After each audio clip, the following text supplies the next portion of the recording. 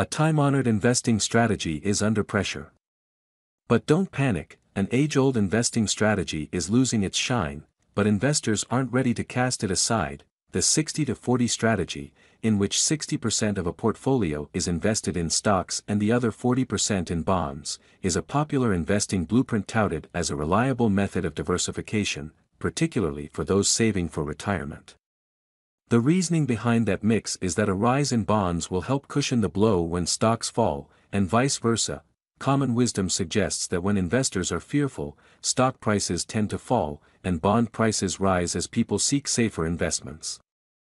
But when investors are feeling greedy, riskier stocks tend to bring higher rewards.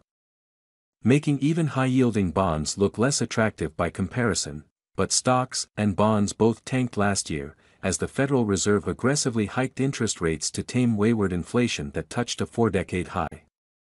Bonds sold off as yields rose and eroded the value of bonds issued at lower rates, and stocks slid as investors feared that a rapid hike in rates from near zero levels could plunge the economy into a recession. Now, Wall Street is grappling with the prospect of higher for longer rates